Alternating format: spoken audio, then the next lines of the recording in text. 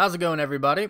So, we recently got a look at some unused concept art from Avengers Infinity War. There will probably be more that come out, but right now we have a new look at Spider-Man, a new look at Captain America, and a few different looks for Thor. Also, if you're new to my channel, I'm giving away some copies of Infinity War, Deadpool 2, and Ant-Man and the Wasp, as well as some special edition posters. If you'd like to enter for your chance to win, all you have to do is subscribe to my channel, like this video, and comment below with your thoughts and your favorite superhero.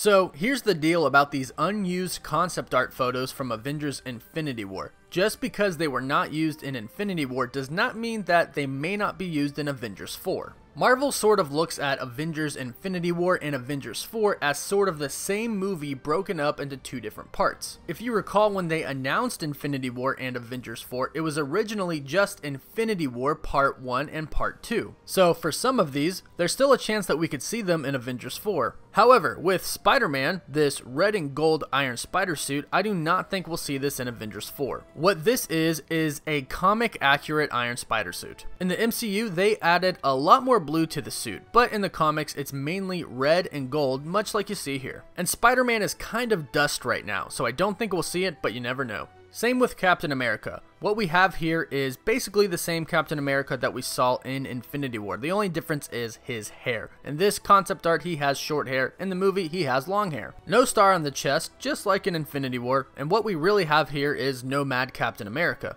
This is pretty accurate to what we saw in Infinity War with the exception of his chest and his hair, but besides that, it's pretty accurate. And I think we all think that in Avengers 4, Captain America will actually pick up the mantle of Captain America again. And with some leaked Avengers Avengers 4 concept art, we've even seen him wearing his scale armor with the star on his chest. Then we actually have four photos of Thor, and right off the bat, it seems like two of these photos were drawing inspiration from the Unworthy Thor comics. The way that Thor is wearing his cape in these two photos looks exactly like how he wears it in the Unworthy Thor. Maybe after the snap, Thor feels kind of guilty for not going for the head, and then we'll somewhat get a version of the Unworthy Thor in Avengers 4. This next photo is pretty much how Thor looked in Infinity War before he got Stormbreaker. It's almost identical to how he looked in the first half of the movie. In fact, I actually think they used this concept art photo for the movie. This next photo though is really awesome because it almost looks like a different variation of Rune King Thor. It's similar to how Thor looks in Infinity War after he got Stormbreaker with the exception of his chest piece. In Infinity War after he gets Stormbreaker, his chest piece resembles that of Ultimate Thor from the comics. In this photo, he doesn't have the six circles and he has a lot of gold in his chest piece. This could possibly be a way to try and work in a different version of Rune King Thor. Even though some people think that Rune King Thor is too powerful to introduce into the MCU, the Avengers are going to need someone that powerful if they're going to try and defeat Thanos and possibly take on a second villain that's an even bigger threat than Thanos. So that's it for this new concept art that we received. Let me know what you all think and let me know if you think we'll see any sort of variation of these Thors in Avengers 4. Let me know in the comments below and don't forget to subscribe, comment, and like the video so you can enter the giveaway and stay up to date on everything related to Avengers 4.